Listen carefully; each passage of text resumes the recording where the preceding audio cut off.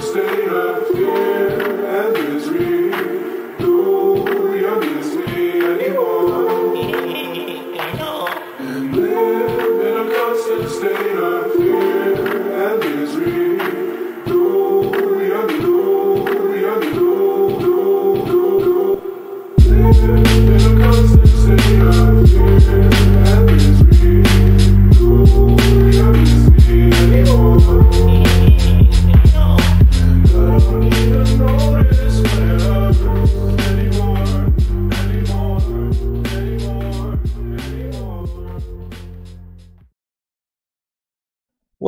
punks? It's Shinobi, and we are bringing you Block Digest episode 202 f- on Friday, December 13th at Block Height 607,974. What is cracking, guys?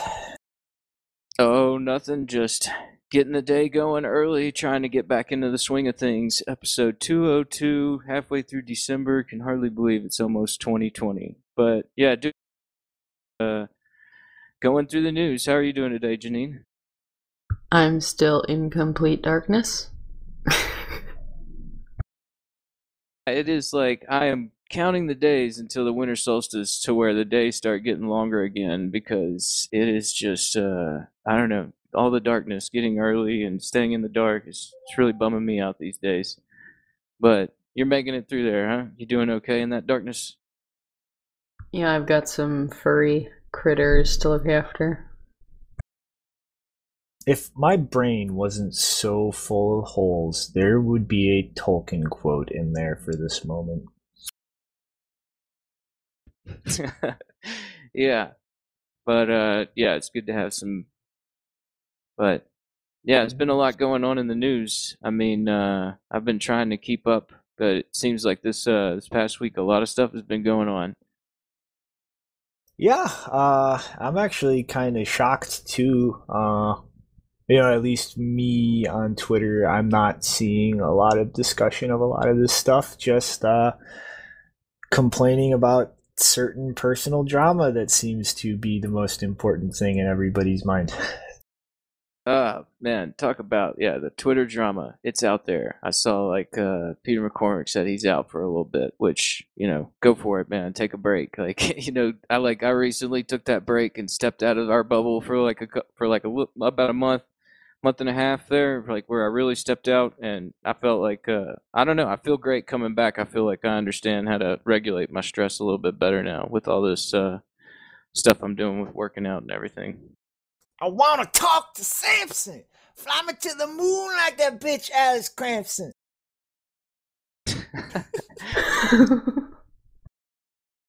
Oh man, but yeah. So I guess uh, I, I think for once we're actually gonna have something really kind of positive to talk about. So I guess you, you want to start with uh, some positive news? Just jump into it. Yeah, absolutely, man. Let's just steer fear of all the drama and jump right into the best news that yeah, I saw. This was some awesome stuff. Yeah, take us into it. So Square Crypto, uh, the organization set up that is independent from Square and Cash App, um, announced that they have sa- supplied a grant to pseudonymous develop. Wow. Okay. Words, mouth, reboot. Okay. Have provided a grant to the pseudonymous developer ZMN SCPXJ and those who follow um, kind of the you know he's been, he's been around for years but those those who follow the lightning developments uh, and mailing lists and kind of you know the weird edges where people talk about more advanced kind of smart contract systems on things like bitcoin um, zmn i'll call them for short uh, from now on uh, has you know really just been pumping out awesome ideas for years and he's just been contributing in his spare time to little things. He's been uh, contributing to C-Lightning uh, for two years now, and so completely uh, anonymously, they have provided a grant um, that was at least big enough for him to leave his full time job, uh, which he's been working this entire time he's been contributing to Bitcoin, and move full time into Lightning and Bitcoin development. And in the, the, the tweet thread where they announced this, um, they, they actually um, spell out that they, they don't even know where he lives aside from the time zone. So from that, I, I have to assume that this this grant was delivered in Bitcoin and without even privately doxing him, um, you know, just between Square Crypto and him to handle the, this grant. So, like you know, Square's not not only just provided a grant to a, a very prolific figure, I think, in this space. If if you really pay attention to the development side of things, but they've they've done so respecting his privacy and actually allowing him to continue to just be a pseudonym in, in receiving this grant.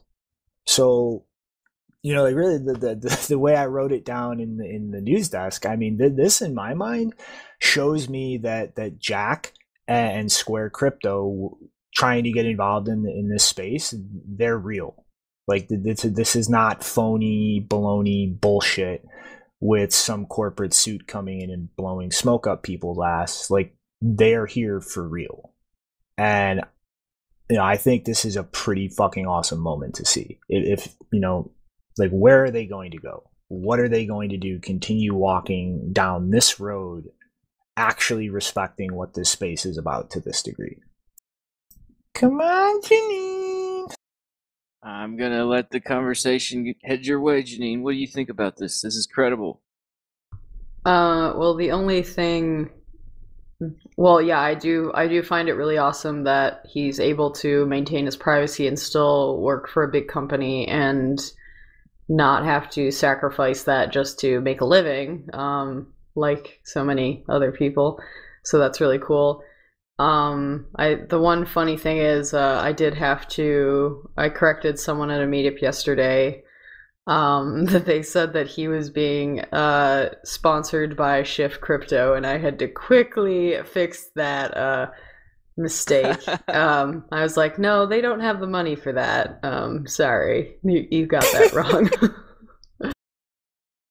yeah, I think I saw them, uh, you know, pushing out some advertisements. Yeah, this is Square Crypto. They are just killing it, man. These guys, uh, you know, they're open source and like you know what they've done as far as already getting some uh, core developers to down that are getting you know funded to where they can work full time on the Bitcoin protocol and not have to worry about you know how are you going to get the groceries and to see uh, somebody that has been so prolific on the uh, Lightning and Bitcoin mailing list, uh, you know Z-Man, I think everybody there calls him.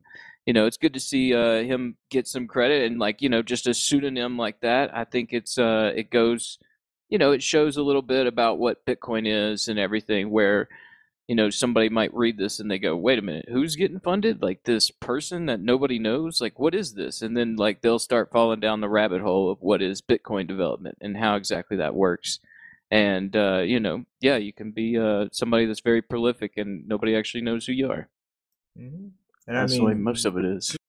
You know, and, and aside from just like you know how much of a demonstration I think of of Jack and, and, Square Crypto specifically and what they're planning. Like this is the first step of where things need to go. You know, like this whole topic of like how do we fund development and organizations for that is something that's come up a lot uh, on the show that, that, we've talked about and you know especially the the whole last round of nonsense with the b foundation that a number of people tried to start and it's like this, what Square is doing is what people need to do. Like not like stop trying to make the the all-encompassing organization for this kind of shit. Like if you have a company, spin off something like Square Crypto. You dedicate your money let all of the individual players do this and decide where they allocate things instead of create this this centralization of deciding who who gets money for developing what in the space like if you, if you want to contribute openly spin off a, a company like square crypto don't try and look for the, the the one thing you can just funnel money into like this is how you create incentives like this that work properly is each individual company doing this kind of open funding of development in in the place that benefits them And if you have all the big companies doing this, then it should roughly cover all the bases. And you don't have that one place that is kind of like, well, if they don't fund you, good luck. And you, you know what I mean? It's like, this is fucking awesome. Like, this is that first step towards trying to get people to emulate this model. Heck yeah, man! It's uh, you know, yeah, Square Crypto's pretty heavily linked in there with uh, a lot of different moving pieces there, and I mean, uh, go right into this next story as far as uh, you know what this is going to help. I mean, you know, I think this relates with this uh, what Twitter's trying to move towards more, just like uh, being a open source platform, like uh, going from platform to protocol, huh? Mm-hmm. Yeah, I mean, th- th- this is like you know, this is just as crazy as, as the shit with Square Crypto. Like, you know, the same day, Jack announces that Twitter is funding a small team, um, kind of independently, the same way Square Crypto is isolated from things, um, called Blue Sky. And the entire point of this team is to look for a way to kind of, yeah, turn Twitter into an open protocol like a social media protocol for the internet the way SMTP is just a general email protocol for the whole internet and shift Twitter into just being one possible client of that. And you know, it's I've, I've seen a lot of different reactions about this. You know, a lot of people like, well, Twitter's like censorship, you're a hypocrite, or people just blindly going awesome. But you know, I think the reality of this is a little more nuanced. And I think like the the first core thing you should look at is regardless of whether this actually happens or goes anywhere or whatever, it shows this is where Jack's head is at. Like regardless if the board gets on on board with it or like the the team actually pulls something workable, it's this is where his head is at. Like he wants to go in this direction and then you know the people you know just looking at the the hypocrisy given how twitter acts right now and just calling bullshit on this um well one you know jack is not unilaterally in control of everything at twitter. Um that's not how this works. And then secondly is the it's it's not going to happen attitude. Really think about twitter and all of these kinds of tech companies. They're pretty much just advertising companies. And it's a giant open secret that advertising is completely manipulated. Um, there are Sybil accounts making up probably half or so of the, the total accounts on the internet. Um, that whole market's a joke. It's it's an illusion. But that's all of these companies' core revenue. And so, you know, does it really seem that crazy in that kind of environment that somebody like Jack could actually convince the shareholders and, and the, the board of the company to move along in that kind of direction. I mean, it's, it's, it, it is an open secret. And especially the, these tech companies know this. So that's just a ticking time bomb of revenue disappearing. So, like, you know, if you really sit down and think about it, like, it, it's not as crazy as, as a lot of the detractors are, are trying to make it seem that something like this could actually happen in the long term.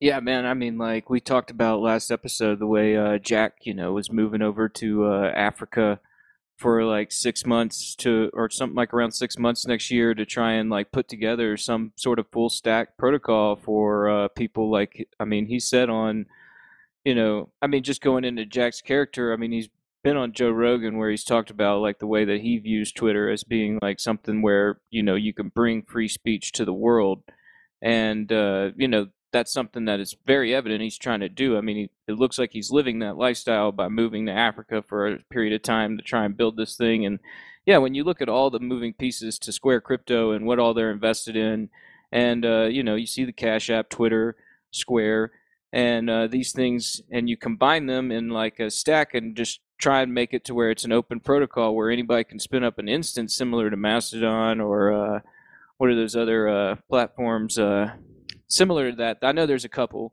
and uh, you know, just to where there's like this competition of trying to create a social networking stack that can't be censored.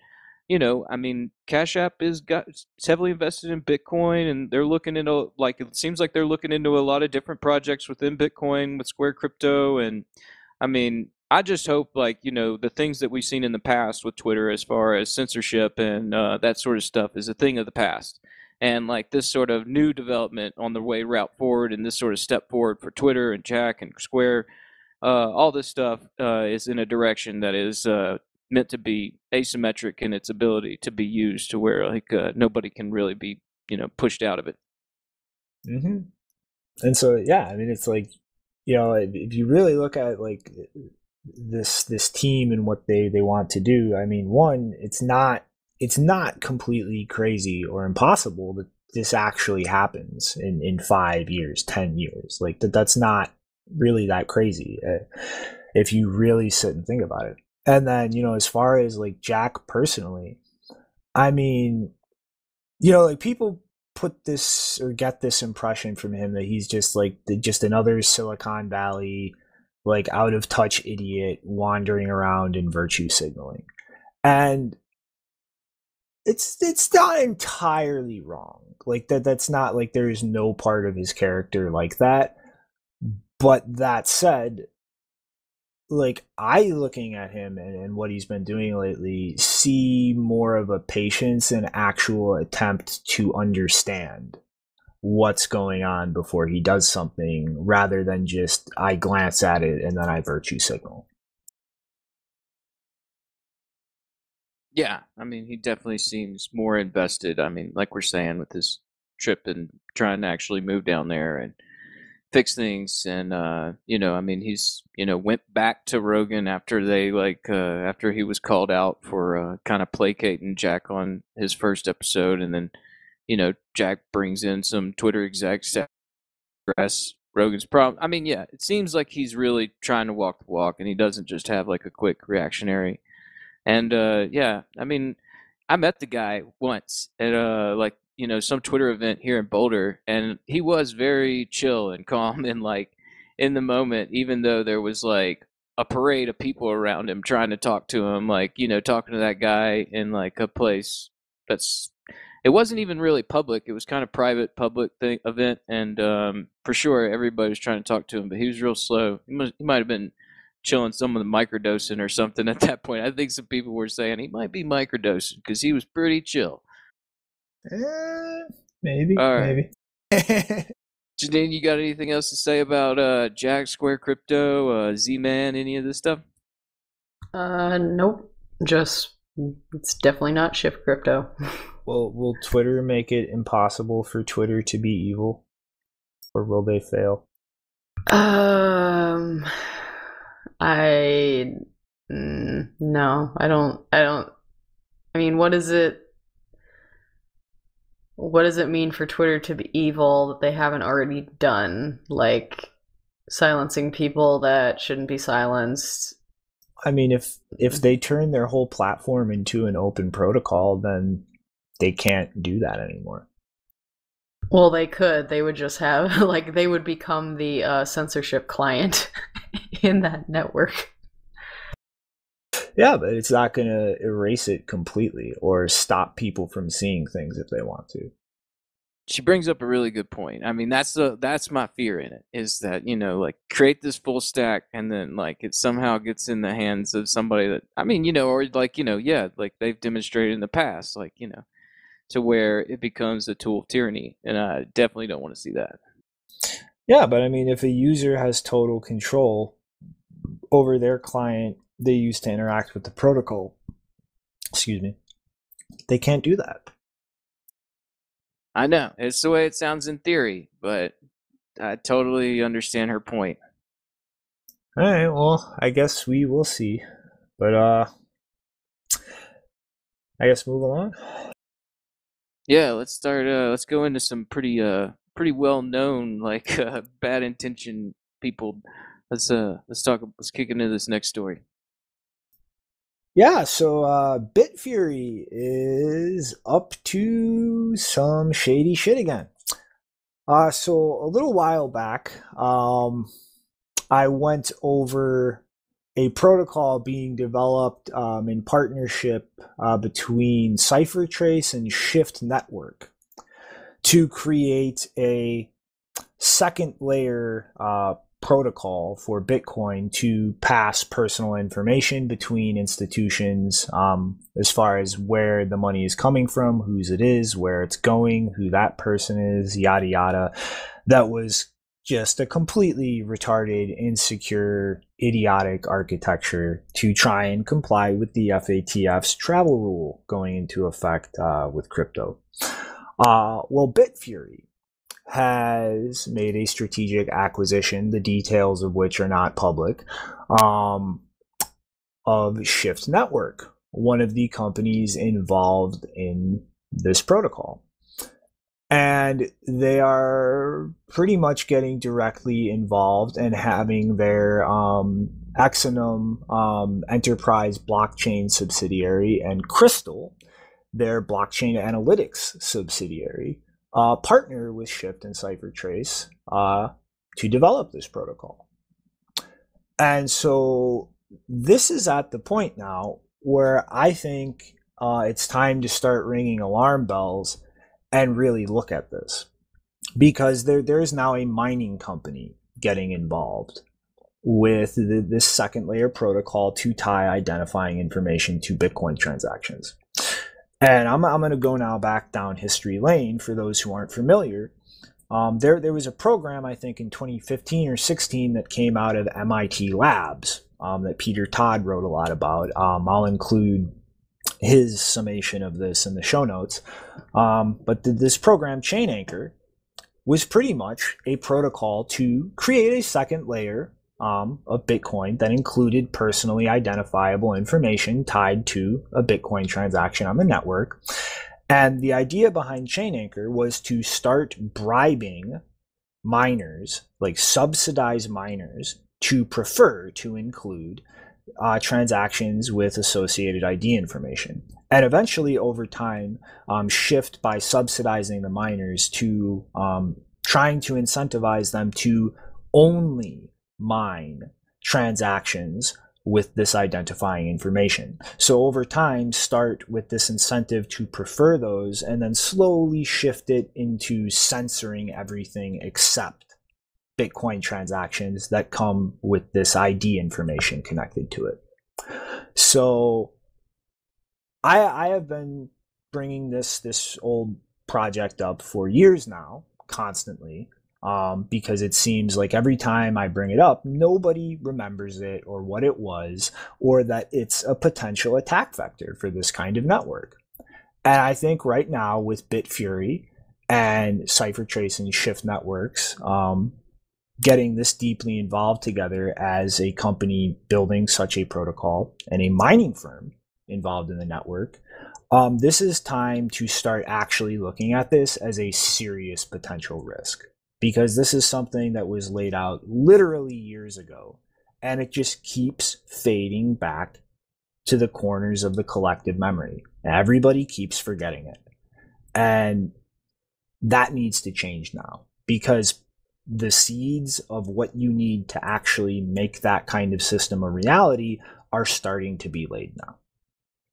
Yeah, I mean, uh, this is something that I mean, I kind of slipped my attention, and I'm glad you're, uh, you know, ringing the alarm bell again because, yeah, Bitfury has uh, definitely been out there working with governments trying to track these transactions, and you know, we've talked about how the FATF travel rule kind of like uh, it kind of wrecks the whole value proposition of Bitcoin and you know these cryptocurrency networks, and uh, yeah, I posted this link in the chat right now, and Bitcoin teen is asking me about it, and it's this is this did catch my attention, you know, and it's just like something where I'm saying it's this is a trend where it's like these exchanges are trying to follow this travel rule, I guess, to you know keep operating. And uh, yeah, Chainalysis posted a tweet that said that they were working with Bitfinex on some know your transaction uh, product that they provide, and uh, I don't know how much is in there in the Bitfinex able to still provide privacy, and you know we're talking about one of the major exchanges that still operates on like a uh, on a level for part a lot of uh, pseudo anonymous accounts, and it's just uh, it's just curious as far as like seeing that and hearing about this, and we know we've known now for a long time that the uh, that this travel rule was being coming down, and it's looked like these exchanges were starting to fall in line, and something that I guess uh, we're going to have to deal with in this next era where it's like these exchanges and most on ramps that you're using with Bitcoin are all the, these, uh, you know, walled gardens where all of these transactions are being tracked and traced and, you know, wrecking this uh, value proposition that this uh, whole industry is trying to provide. I mean, what do you think? Yeah, I mean, this is what I mean. Like this, this is slow moving. Like w- when you look at threats to something like Bitcoin, like they're not going to just go pop. They're not just going to appear overnight. You're not just going to instantly recognize that and go, "Oh, it's an attack on Bitcoin." It's going to creep in slowly, and like it's it's going to happen right out in the open. You know, like, like I said, Chain Anchor that that paper that that that whole project design is years old and now years later we're slowly starting to see the players needed to build that work together work on the individual pieces of it like y- you can't look at this space and try to identify threats and just do so with the goldfish news cycle memory that forgets what happens last week when the new thing this week happens.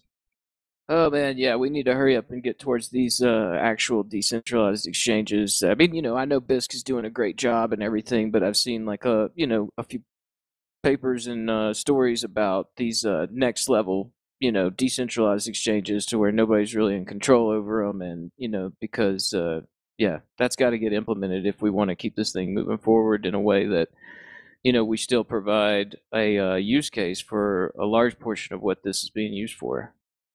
Mm. I mean, Janine, I know you have to have something to say. Come on. I don't have something to say. I think you are lying and saying that to spite me. You mean that Bitfury is a sack of shit? See, you did have something to say. You did lie. I mean, well, yeah. So, if anyone is not aware, big expose about Bitfury and their stupid Lightning Peach thing that we did. Uh, was that this year? No, it was Uh, last. Yeah, no, it was this year. It was the beginning of this year. Wow, it is. Why? Oh God, I feel old. We've been doing this for a long time now. hmm But yeah, so th- th- this is definitely something we need to pay attention to and keep coming back to, and not just let slip out of everybody's attention in a week. Yeah, I know. I was just trying to remember too. I was like, did the FATF travel rule get implemented this year or last year? And It's, yeah, it's this year because last year they just started the KYC stuff.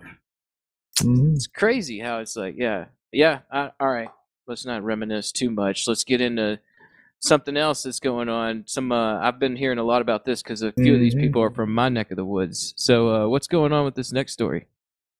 Uh yeah, yeah, a couple of them are. Um so uh three men so far, uh two remain at large, uh have been arrested for operating Bit Club, um, which a lot of you may know as a mining pool, um, or a giant uh, Ponzi scheme, where um, the Justice Department is claiming they they uh, received the equivalent of over $722 million worth of Bitcoin in this Ponzi scheme. Uh, Matthew Brent uh, Gaucher, I think, um, Jobadiah Sinclair Weeks, and Joseph Frank Abel are the three that have been arrested. And the other two defendants um, are at large with their identities still under seal until their arrest. But pretty much, um, for those who aren't aware of Bit Club, um, they've been around since since around 2014, and most of their, their their model it's pretty much the same kind of model as a cloud mining company. Um, you just buy a membership and then pay them, and they supposedly take that money and buy hardware to mine on your behalf, um, charging you know whatever fees for maintenance and such. Um, and the people have been pointing at this this mining pool for literally almost its entire existence and pointing out how shady it is um, how they have never been able to actually provide any kind of systematic or comprehensive proof of the claimed hash rate they claim to operate or the revenue from that um, and it turns out that yeah they, they pretty much were lying not buying hardware with people's money and pretty much running a multi um, level marketing scheme where they just took in money from people uh, paid out older people and just just pulled money out whenever they wanted to to spend on stupid shit.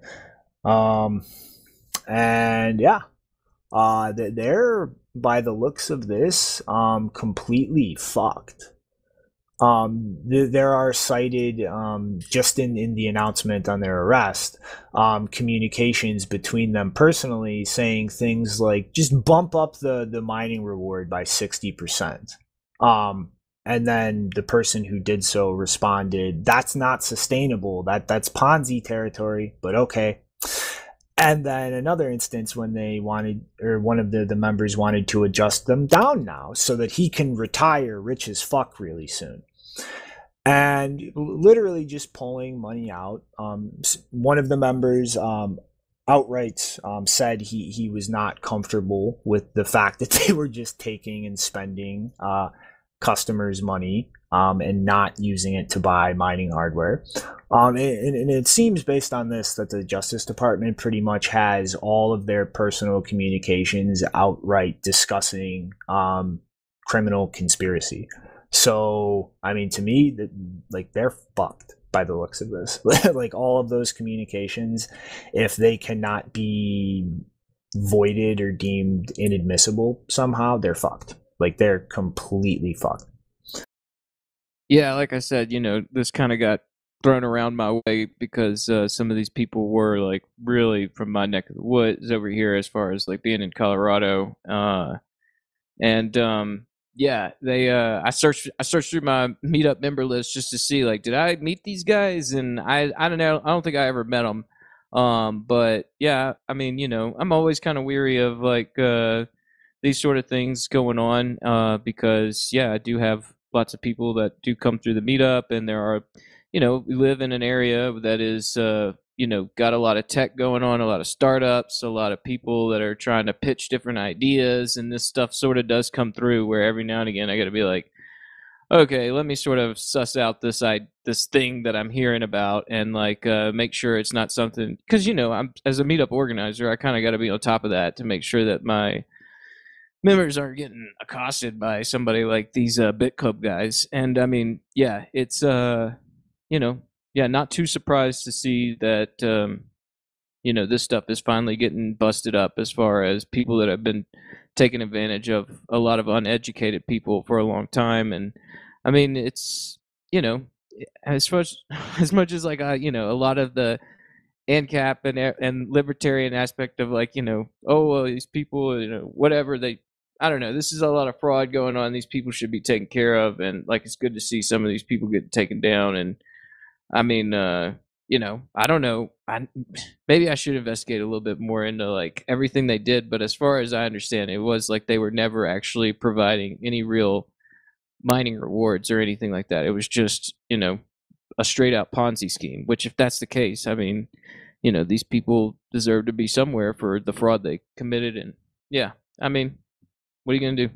I don't know. Mm-hmm. And a nice little historical note. Um, during the whole UASF and preceding things, um, they, they actually started mining BU for a while after making arrangements with Roger Ver, and then had a, a big falling out with him, and he called them a scam on Twitter. It was a whole big public thing, and then he ended up deleting that tweet and posting a video very reminiscent of Mount Gox, um, saying, he apologized, and Bit Club was definitely not a scam. Oh shit! There it is. You know, all these characters tied up with Roger. yeah, I think it's pretty safe to say uh, batting two for uh, two and zero at this point that anything Roger says is not a scam is a scam. All right, well, moving away from these scammers and some other people that Roger is associated with, like uh, I've been seeing something about this. You know, it looks like the big bad Bitmain is coming back. Mhm. Like, what's going on here, man? Tell me about it. So I'm gonna toot my own horn here. Uh, I am a genius, and I totally called this. So okay, um, you gonna tell us? yeah, uh, I think two episodes ago, uh, I covered a Bitcoin magazine article where they went through like just the, the shifting of mining to to North America and the different uh, landscapes um, regionally. And I kind of pointed out the little note in there, like just a quick blurb about how Bitmain was expanding to start offering services um, to help miners plan and set up logistics for mining farms or migrate um, their, their current farms and operations. And so, pretty much, uh, Jihan Wu um, in Chengdu, China, um, made a public appearance um, on stage and made a speech pretty much talking about how Bitmain is completely um, changing how they do business exactly along um, those lines. Um, to completely shift how the, the finances are handled between them and their customers and shift much more of the risk to them to incentivize uh, people from still working with them. So, um, first off, they're introducing a different um, pricing um, setup. Um, essentially, the the more miners you order, um, the less you actually have to pay up front until they ship. So if you're ordering between 100 um, to 1,000 miners, um, you only have to pay 50% up front. Um, anybody ordering more than 5,000 um, can pay as little as 20% up front. So they're they're pretty much shifting all of the the the capital risk um, of a, a miner, or a, a, lot of the capital risk, not all, um, when he buys equipment and has to wait for that to arrive and get set up and start returning money, um, by kind of waiting until they're actually shipping to get whatever percentage depending on your order size from the customer. So they, they are taking on a lot of the risk from the customer now to try to incentivize um, you know people to, to keep buying their equipment. The the second is they're going around now um, and trying to set up co-mining agreements with farm operators that have excess space they can't fill. Uh, and pretty much the, the arrangement is they will cover the electricity costs of operating the equipment while the miner or the, the farm operator is responsible for maintenance and bitmain will retain 75% of mining profits from their equipment and give 25 to the farm operator with a clause that if the total mining revenue is less than the electricity cost, Bitmain keeps everything and the farm operator gets nothing. So they're they're even here, they you know, they're they're shifting risk, but they're trying to cover their ass over the, the, the person they're making this arrangement with. And they've actually been ramping up um their use of uh or the, their their self mining operations through these types of arrangements. And even renting equipment um to people with excess space as well.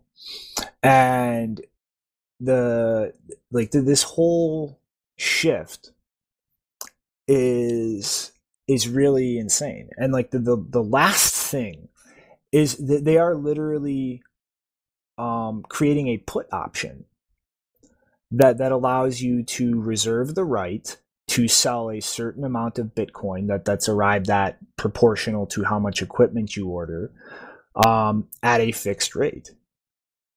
So that they're literally even setting up a hedging operation so that just by buying equipment from them you can purchase from bitmain themselves a hedge against the price of bitcoin going down to some certain degree and Bitmain will buy your Bitcoin at that price at the exercise date, regardless of whether it's below it or not. So th- th- they're they're taking on more risk here with the attempt to again keep the the operations of their customers' farms more sustainable and them take on the risk from that. Like they, they are just doing everything they can to take on more risk to take it away from their customers to retain their customers. Like they're, they're literally doing exactly what I predicted they would do and shifting the entire business towards helping miners financially hedge and operate their, their entire operations, not just selling them equipment, because that's where this space is going. So like the, the, this speech is, is literally panning out everything I said would happen. Man, Bitmain is just a big question mark. I mean, like you know, I've been. It, it's just like ever since they took the big Bcash investment, and they've been playing the shitcoin route, and you know they lost a lot of money in that. They had some bad tape outs to where like uh, you know they lost some money on that, and then they were supposedly putting Wu behind them, but now Jihan Wu's coming back.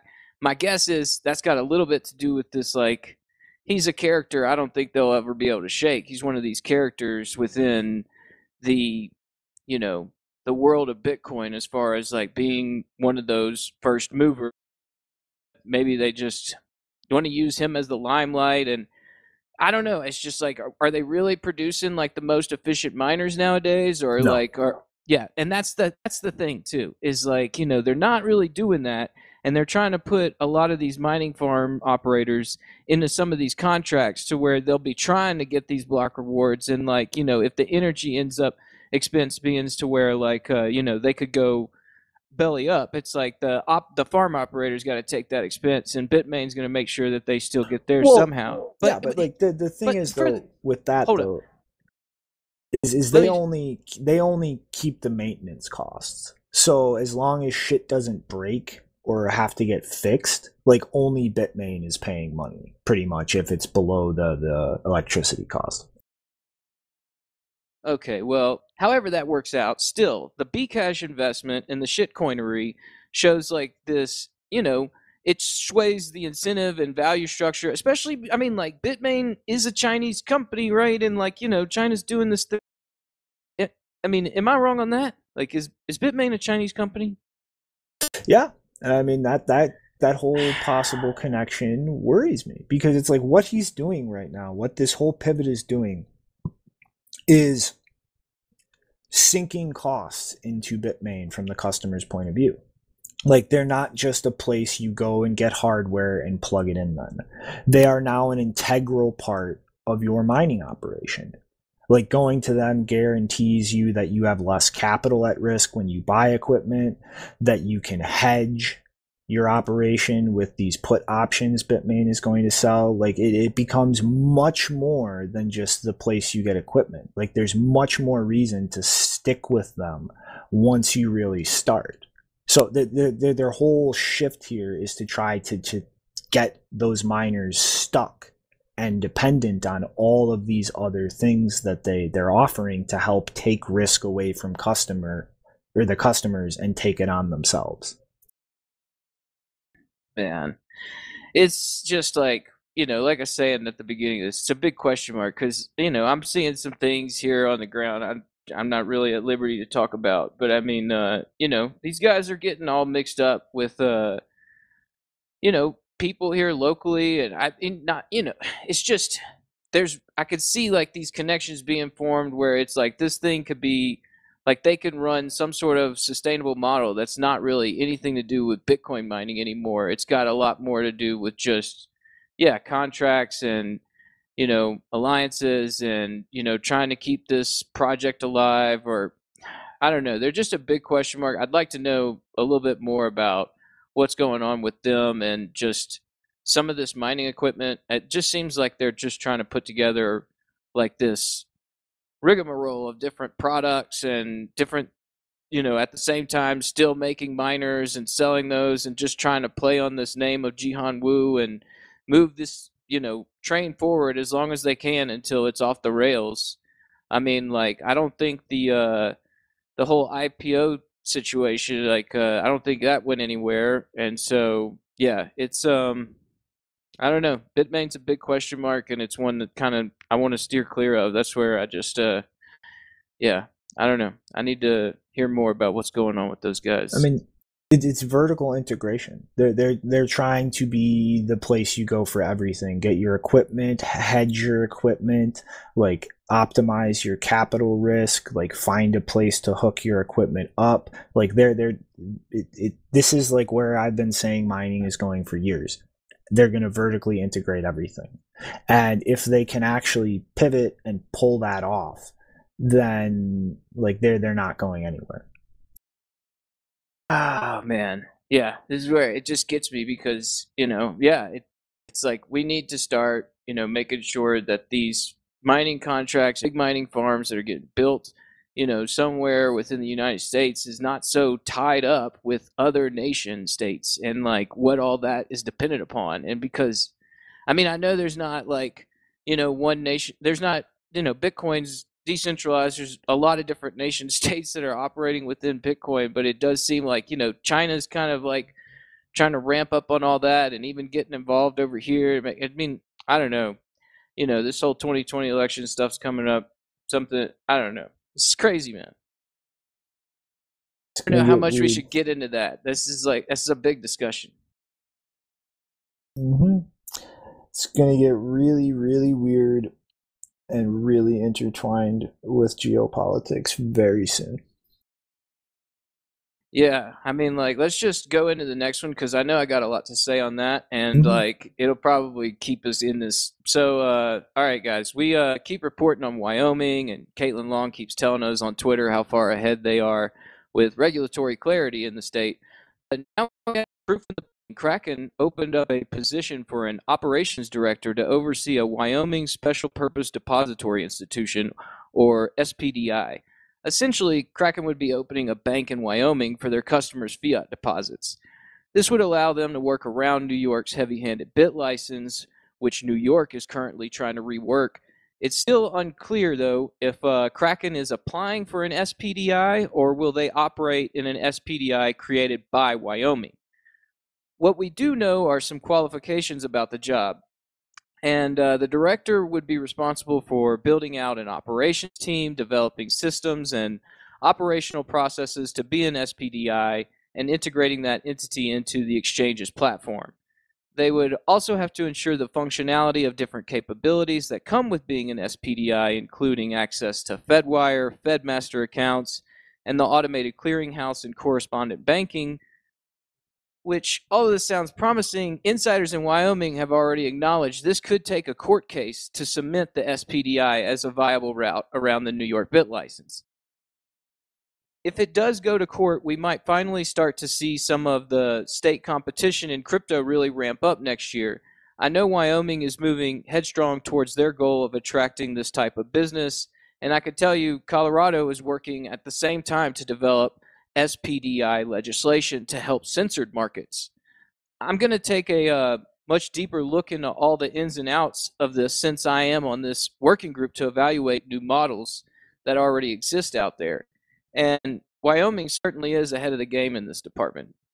I'll keep you guys up to date on any of the developments that come out of this Colorado SPDI. But back to Wyoming and Kraken, they are looking for someone who's who's had senior positions in banking and finance and understands all the intricate details with that sector.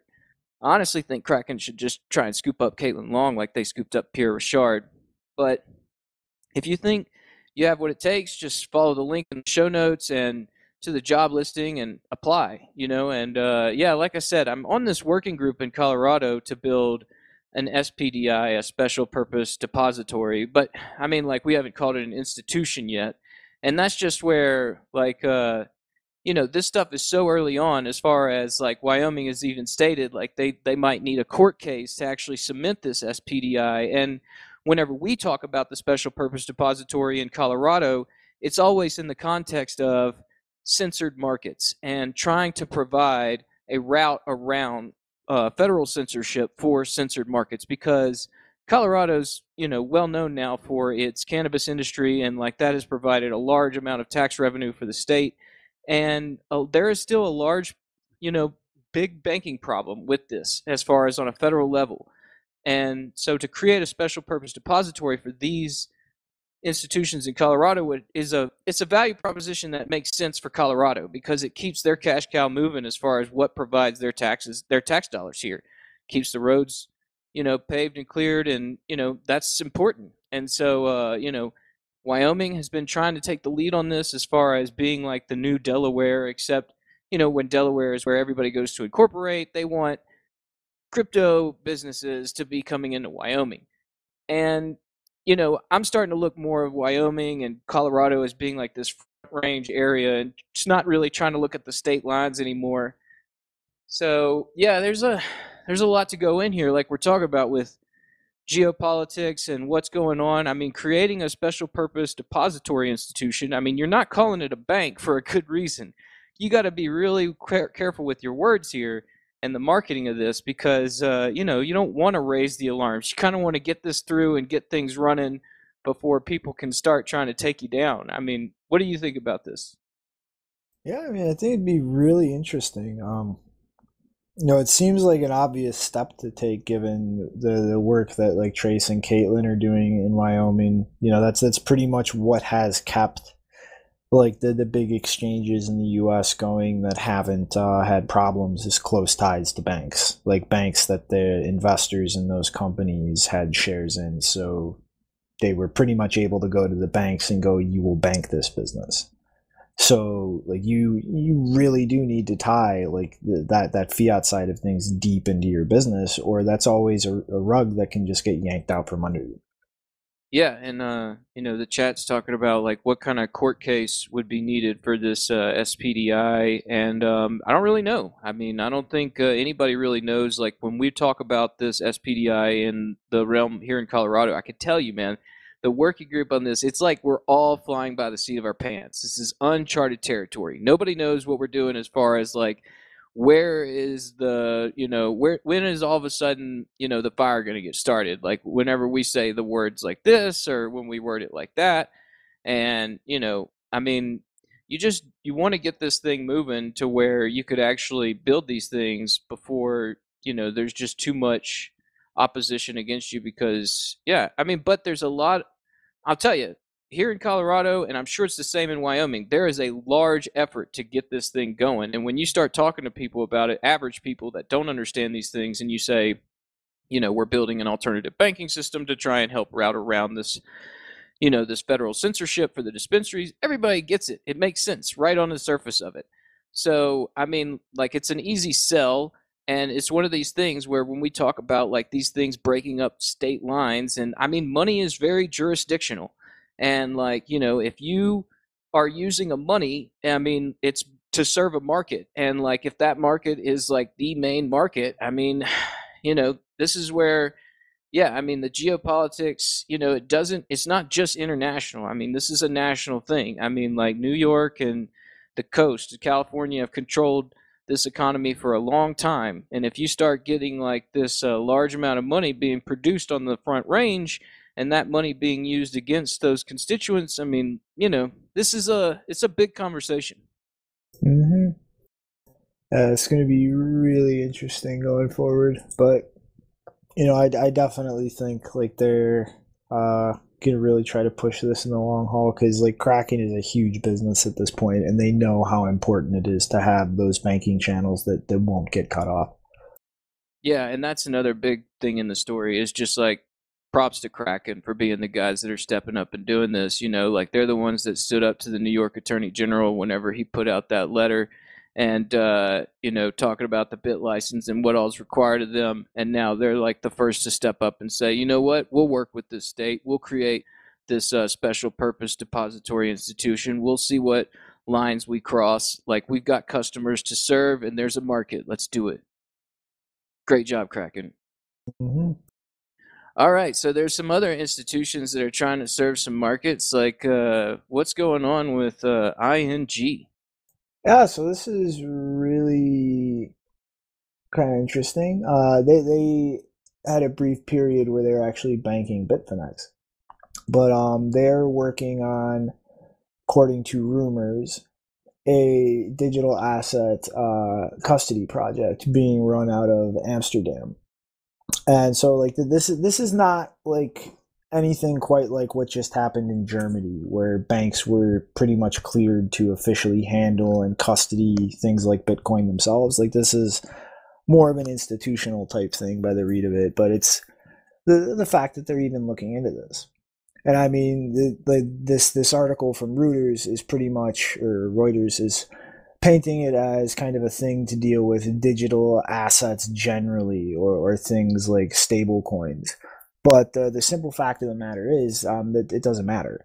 Um, if they iron out an actual procedure and system to handle a- any kind of crypto asset, uh, you're pretty much talking not really that major changes to support Bitcoin instead of a stable coin or Ether and so on. And because you know the, the the real core of that is just keep the key safe and the thing that's signing uh, with the key safe. So that that's pretty generalizable. And so I, I still think it's, it's a pretty big deal. You have a major bank in, in Europe actually looking into custodying of these types of assets. I mean, like that that is just absolutely fucking huge. And like we really are getting to the point where we're starting to see like dominoes flip. I mean, look at the, the past year. We've had Bakkt launch, Fidelity launch, uh, the, this law passed in Germany allowing uh, retail banks to custody crypto and hold accounts of crypto for people. Now ING, like th- those those big financial institution dominoes are starting to fall.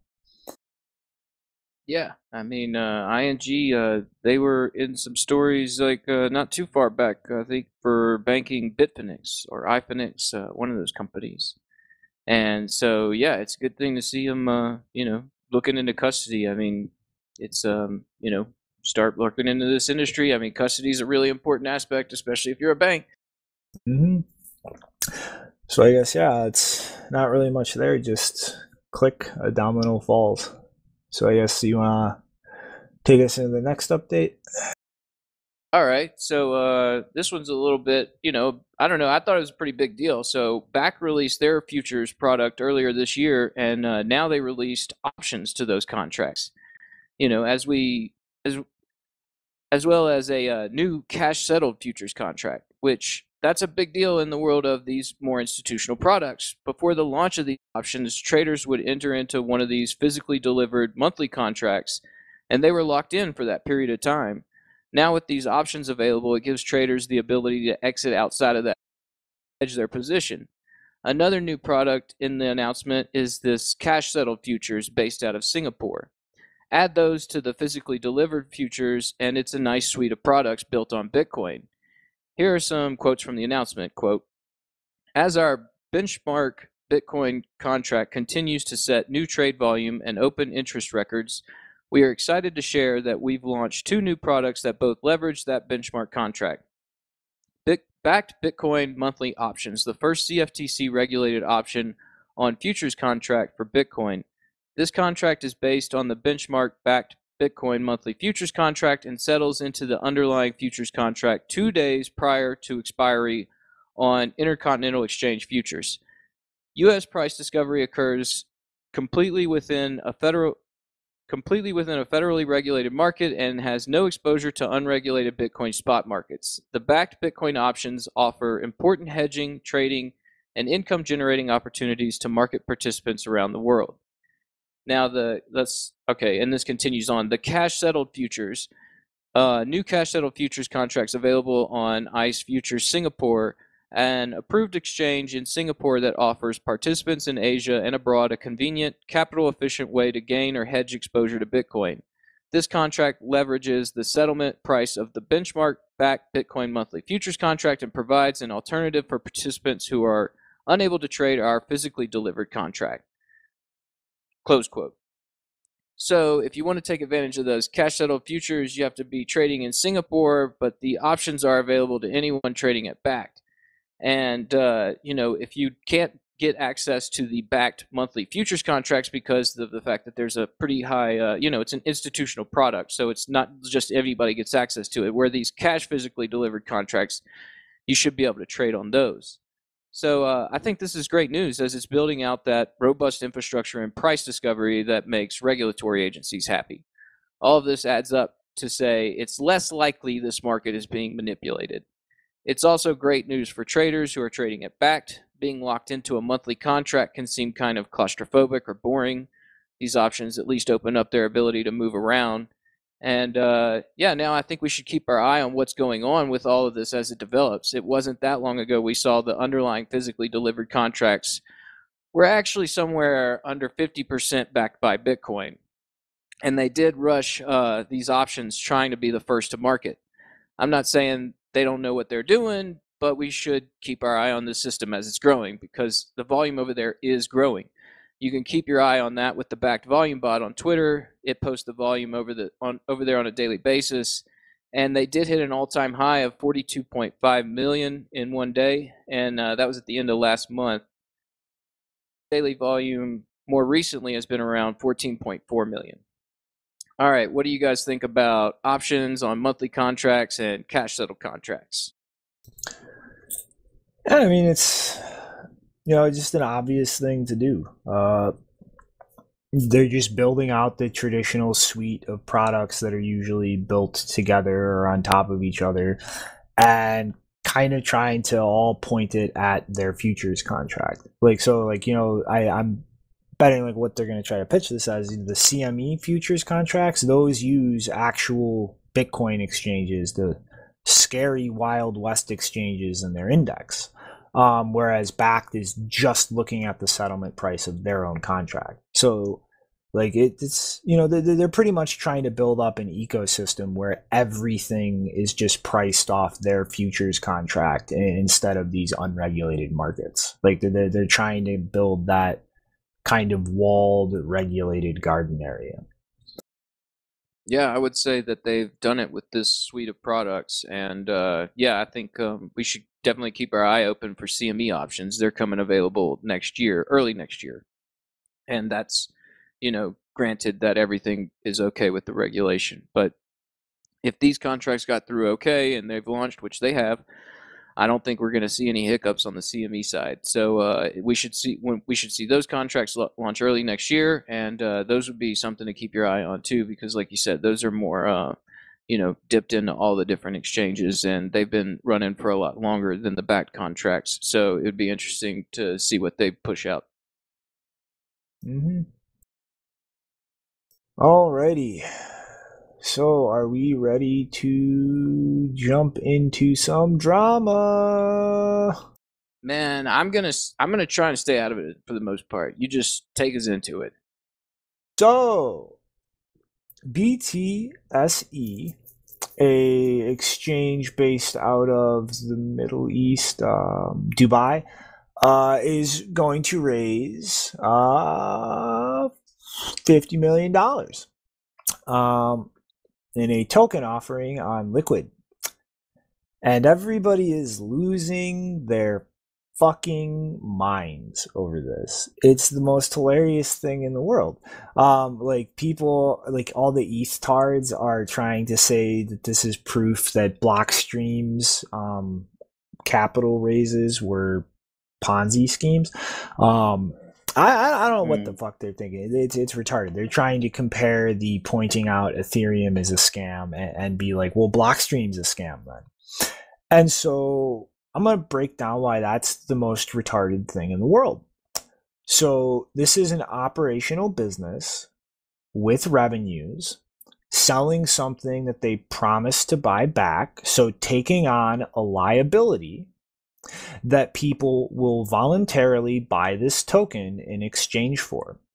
So they will take this token, they will give it to you and take your money and promise they will buy that token back later.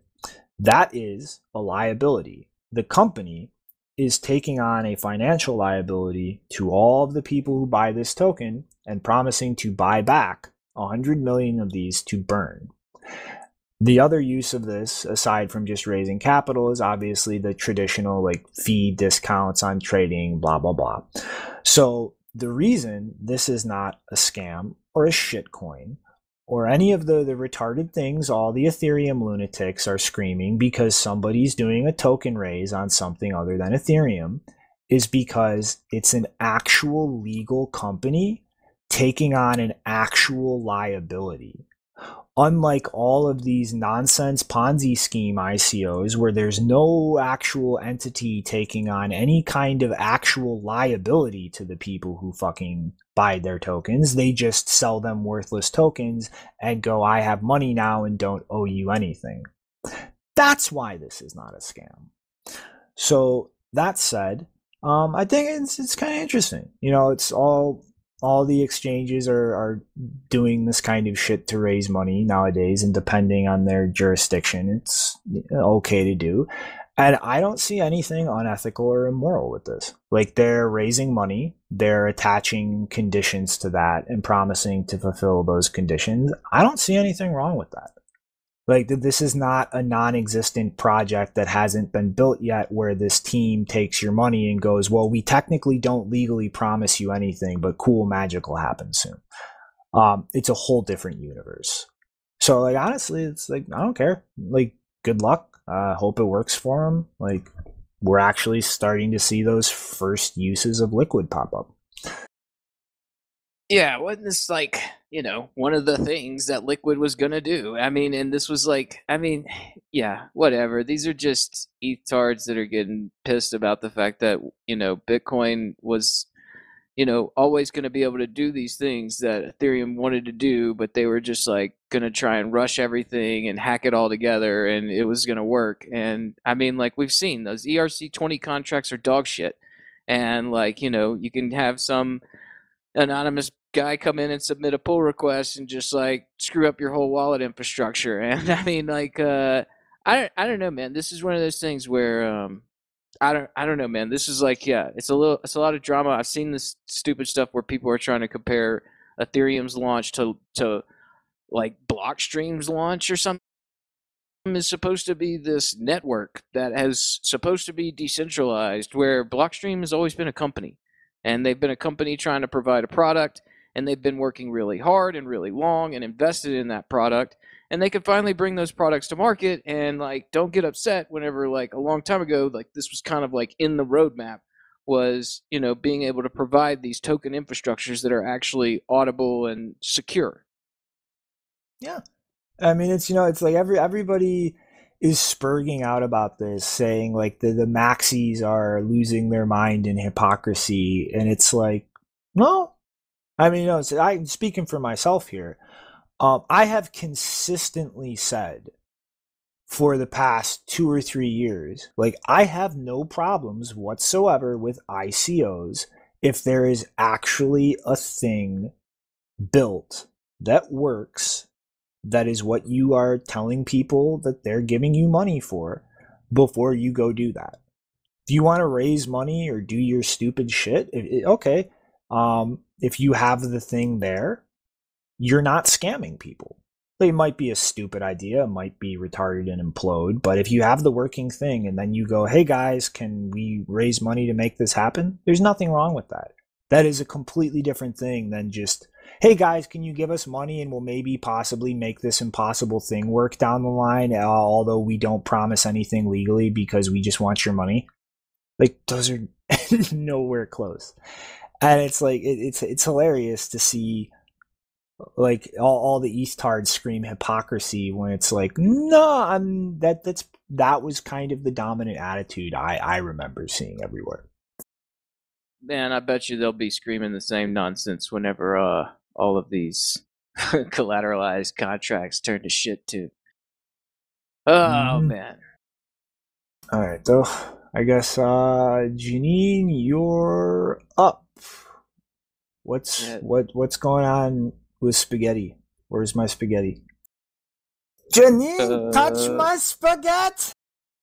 janine you with us still Oh, I did start talking, but I guess you couldn't hear me. Ah, yeah, we got you now. So what's going on? Take us into uh, what's going on in Italy and their uh, and their what they're doing. Cricket. Okay, can't hear you again. Nice. Hello, Janine. Oh my god, my notes are moving when I'm clicking the audio button. It's really annoying. Can you hear me now? yes, we can go for it. Okay. So, anyway, where was I? Um, you can cut that whole part out. That was weird.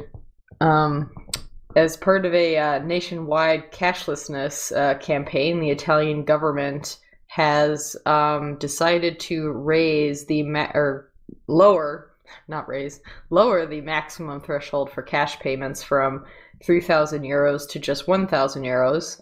Um, in practice, this will actually be lowered gradually down from 2,000 euros. Uh, so right now it's 3,000, and then starting in 2020, um, just not even a month away, it will be 2,000 euros, and then by uh, 2022, it will be down to the 1,000 goal, 1,000 euro goal. On top of that, um, for any businesses who refuse to accept digital payments at all, they will start imposing a 30 euro plus 4% of the transaction value penalty um, on those businesses. So, yeah.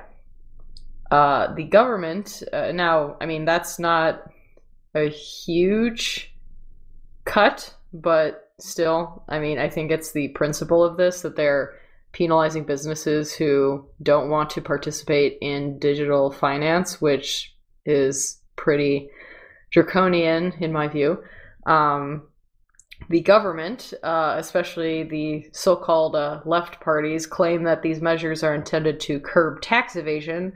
But as the original article written in Italian goes into, uh, which is linked in the first tweet, this will mostly just be making life a bit more difficult for everyday people who, you know, want to pay someone to renovate their house or buy a car and those things, you know, go up into the several thousand, if not tens of thousands of euros. So that means they're going to be forced into using digital payments. Now, you might argue some, like a lot of people are already using digital payments for those kinds of big purchases.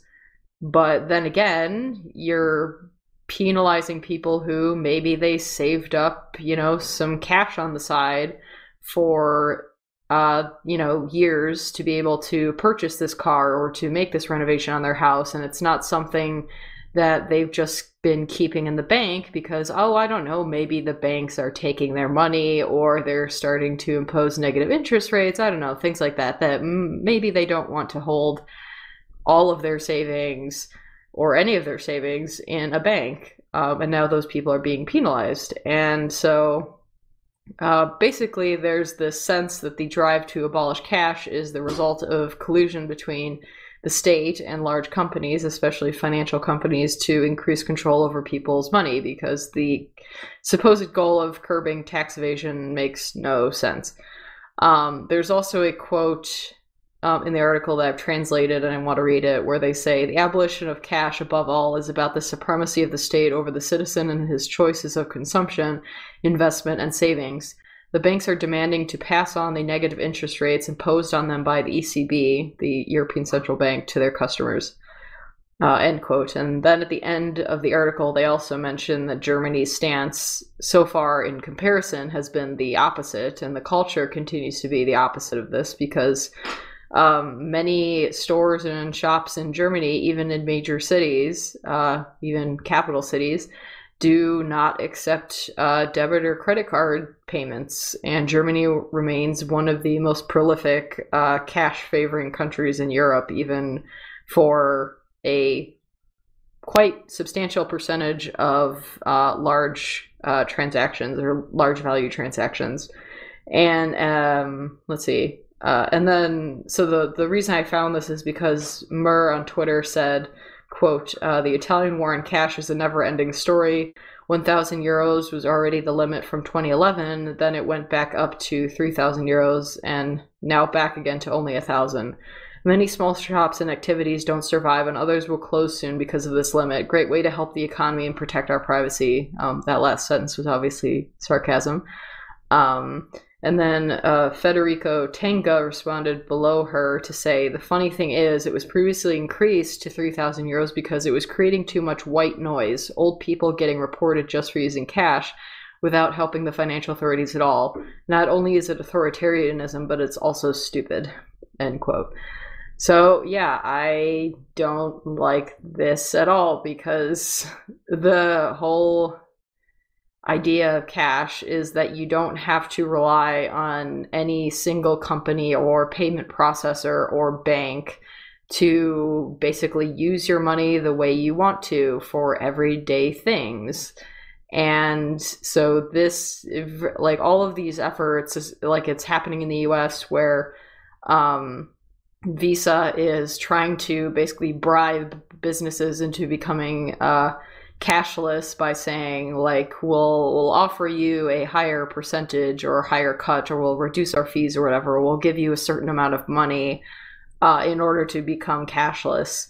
And I hate all of these initiatives because um, I personally, as I've mentioned a number of times, I pretty much do all of my purchases in cash. Um, the only time I really ever use any kind of banking infrastructure is to maybe if I have any money in a bank at all, which is not very often, I might look at it and then I'm going to go take it out of an ATM. I don't I don't do digital payments. I haven't used my debit card to buy something like an actual object or anything or even a service. Um, I haven't used it since at least three years. I think can't remember. Um, so I don't I don't like any of these uh, trajectories. Mike stuck. Mike is stuck.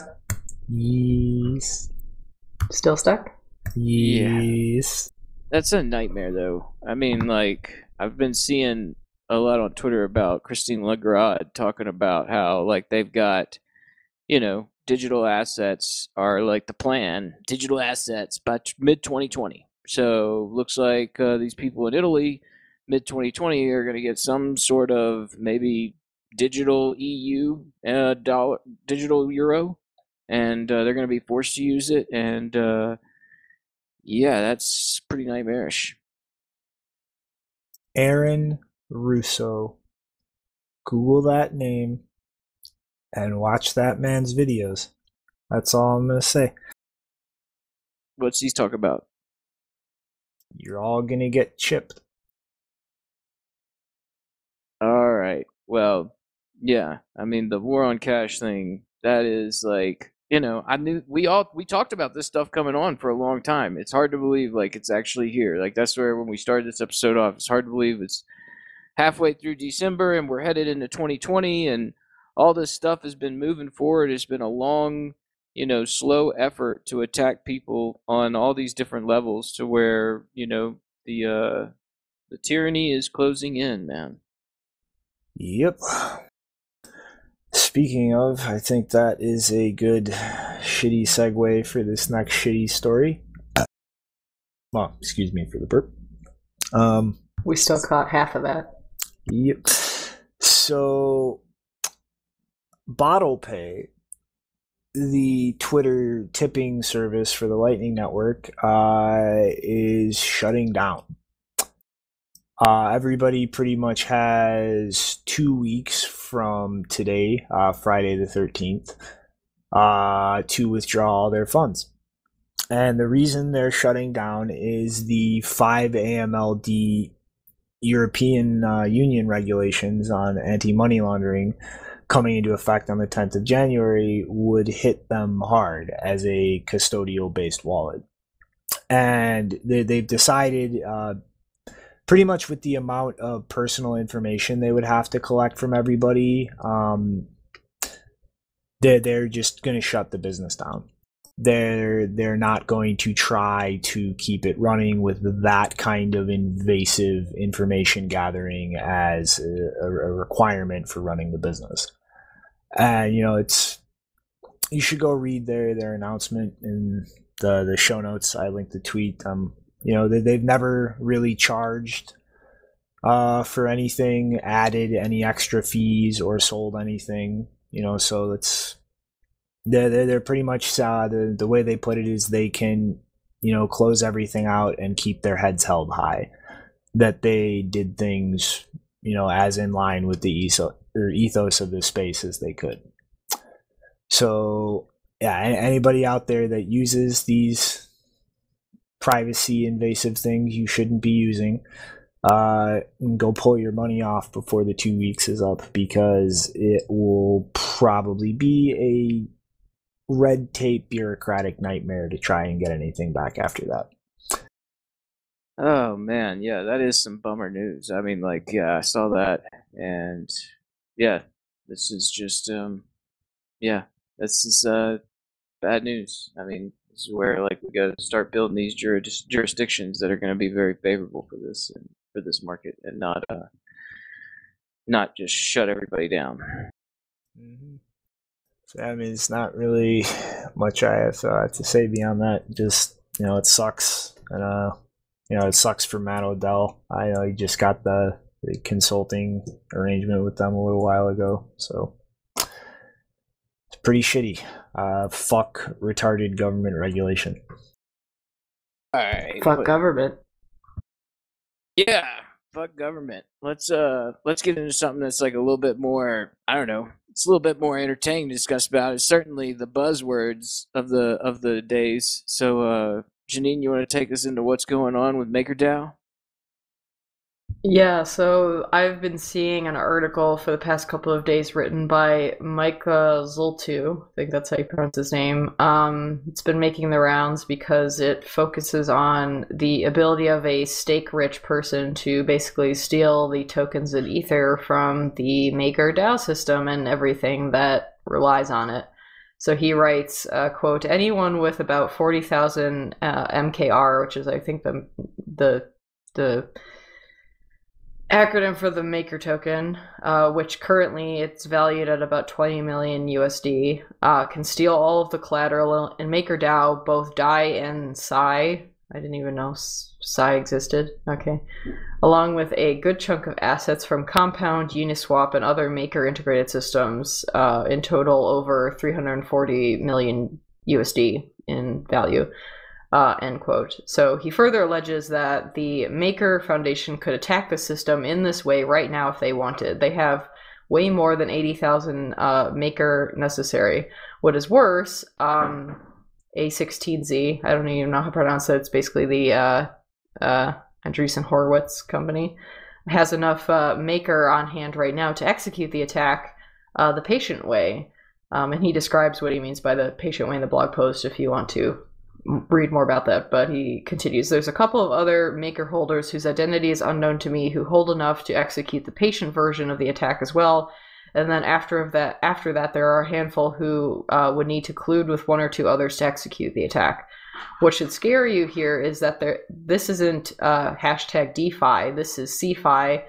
Uh, but instead of only one person being able to steal all your money, the bank, the bank or any any of a number of large individual shareholders or a group of smaller shareholders could decide to steal all of your money at any time. End quote.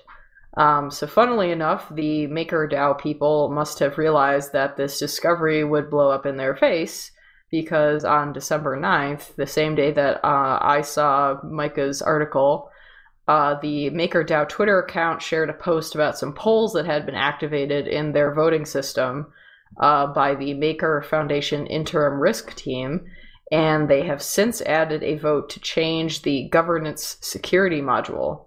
Uh, described in their post as follows The GSM uh, is designed to give the Maker token holders a chance to review any changes that will go into the system and act accordingly if those changes are deemed to be malicious. Since the launch of MCD, the delay has been set to zero as in there is like zero time for them to make any kind of governance decision.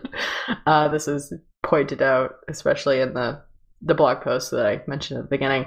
Uh, so continue. Uh, this allowed the community to take immediate action to mitigate technical errors, uh, or you could say uh, miss the miss the ability to take anything but immediate action. Oracle malfunctions, outlier cases like market panic or an economic attack. As the likelihood of these events began to decrease post launch, it is nearing time to review the GSM discussion regarding the optimal amount of delay to enact.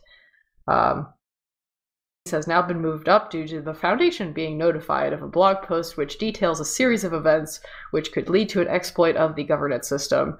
And of course, at no point in this blog post do they give credit to the person who described this attack, even when they have a thank you session uh, section at the bottom. Anyway, the community previously considered the possibility of the exploit, but it was not an immediate issue. However, the probability of this exploit grew due to the potential publicity from the aforementioned blog. For this reason, the community is being presented with a poll to mitigate this hypothetical exploit in advance of our typical debate and consensus seeking processes. End quote. So, yeah, um, okay, uh, Jesus and Ethereum people, um, here's something you need to learn. If the quote potential publicity of an exploit uh, is such that the exploit much more likely to happen uh, within a period of like three or four days to the point where you think it's worth convening an emergency community debate to change your consensus process, I think that basically constitutes that it's now an immediate issue. Uh, and it probably was an issue that you've just been ignoring for a long time. So keep in mind, um, and it's also funny, like they they don't they didn't consider it uh, really relevant before, but they now consider it relevant conveniently right after this blog post was published. Excuse me, my cat is eating gingerbread. Um, so, uh, yeah, keep in mind only a, as as they have now um, acknowledged, uh, as was written in the blog post, only a relatively small group of people, or one person, depending on who's controlling all of these uh, keys to the stake, um, only a relatively small group of people could turn malicious and make this exploit a reality in literally no time at all. Uh, zero. So if you think the my cat is also sniffing the mic. Uh, if you think the incentives are there to uh, take advantage of it, then the information about it doesn't need to travel much. So I don't understand what this like ha- kind of like half-assed. Uh, you know, we already knew about the fixing it and now is the time kind of response is but anyway yeah You see, we knew this huge critical vulnerability existed, but we didn't think it was a big deal because no one knew it was there. But now that people know it's there, we should fix that. what was it they were going to say about security through technical obfuscation or something where it's like you know ethereum is secure because you know there's a lot of technicalities built into it and in order to understand those you got to be pretty sophisticated so it's secure yeah it's security theater you know you're right on stop and same what is it decentralized theater is what you say janine like that is right on target i mean it's security theater and decentralized theater and it's also just like a house of cards and I mean, this whole like over collateralized system, I mean, like, I get it. Like, the whole idea of banking is to provide banking services, which includes like loans, and you know, you need to lock things up for periods of time and create these contracts. But, you know, all of this stuff, like we've been saying, has been built on these systems that are very insecure and it's been dog shit contracts and it's just sort of been hacked together. Where, yeah, it's like, you know, like we were saying in that last story where these, you know, ethites are losing their heads. It's the same thing when it comes to uh, this MakerDAO situation and just the whole DeFi movement. Whenever there was one CoinDesk article about how RSK can build something or is thinking about building some sort of MakerDAO type system, and everybody on it is like, "What the hell?" You know, the Bitcoin. All of a sudden, Bitcoin is like that's some sidechain project that's not on the base layer. And guess what? They're going to probably work to make sure that it's a more audible system than you're building because it is built with Bitcoin. And yeah, I mean, this thing, I keep looking at it going, I don't know when it's going to fall down, but I, I just kind of have this in my mind like it's going to fall down. It kind of, I wasn't there before 2008 and everybody knew about these, you know, stupid uh, mortgage contracts that were just like entirely over leveraged, but certain people knew about it. And, you know, I just feel the same way looking at this thing where it's like all this stuff is built on this really insecure project. And you guys really are touting the name MakerDAO and DAI and all this stuff without ever saying the word Ethereum. And that's what it's built on. It's security through Rube Goldberg machine. Excuse me, everyone. There was a vulnerability that we've been aware of for quite a while, but now that everyone knows about it, we can no longer exploit it ourselves, so we should just patch it. and the exploit is awful, god awful. I mean, like you know, it is like okay, anybody can that has this large amount of stake. you know, can uh, basically just wreck the system. Which we were saying that about that delegated proof of stake system. I mean, you know, this is just one of those where you try to reinvent the wheel that Bitcoin created, and you're going to create all of these insecurities in the system and vulnerabilities. And I mean, somebody, you know, they don't even have to be somebody that wants to wreck it. You know, God forbid somebody just, yeah, knows somebody that knows somebody that's in control of this thing and like you know somehow gets a hold of them and just opens a short on maker and you know all of a sudden they have an emergency meeting about how you know the entire system is about to get blown up or something i mean it's uh it's a scary situation just like it it's one of those things where i don't know if the people involved even understand that they're putting like a, a price value on like their head. I don't want to say it you know even but i mean like it's the reality. I mean, it would be so hilarious if we had another DAO catastrophe in Ethereum where it, it would it, it would be awesome if it was like a combination of the DAO incident plus the the Parity uh multisig issue where it's like someone just accidentally broke it and took everyone's money. everything gets locked up set on fire and forked away Oops, I accidentally triggered triggered this governance bug. oh my goodness yeah that's an entertaining story almost like nesting a million different consensus mechanisms into a single global consensus mechanism that's completely broken is a horrible idea. Ah, security theater, decentralized theater. So, uh, yeah, now that we, you know, pulverized Maker down into the ground, like, uh, what happened to KeepKey? I guess they got pulverized down into the ground by Kraken. What happened there? Well, um, this is kind of interesting. Um, so I still have not been able to completely confirm my hunch here, but I think this is the unfixable uh, hardware issue with the STM32. Um, like the, the Trezor has that too. Uh, a bunch of stuff uses it, but um, um, I think it's the, it's the Coldcards as well, but they have the whole different setup with the secure element that is a big part of the security model. So this can't really be used to pwn things the same way with anything using a secure element like that. But pretty much any hardware wallet just using the STM32 on its own uh, is totally wrecked in, in a physical attack. Um, so uh, Kraken put out a whole series of blog posts on this. Um, the second um, blog post, the the really in depth uh, technical breakdown, is linked to in the show notes, but you can find the rest um, at the the bottom of that one. Uh, but pretty pretty much the gist of it is um, there is a flaw in the um, the bootloader or the the boot ROM with the STM32. so you can glitch while going through the boot process during the, the boot ROM before it actually loads any vendor software. So all the the, the crypto, the, the Bitcoin specific software gets loaded. And downgrade the security mode on the memory so that you can read out of the, the RAM. And the the big problem with this here is that it's happening literally at the most basis level of software loaded on that chip before all of the KeepKey or in the Trezor's case if if this is possible there um, which you know it's it is um, like regardless of whatever you do in your your crypto firmware to mitigate this it doesn't matter because the attack happens before all of that software gets loaded.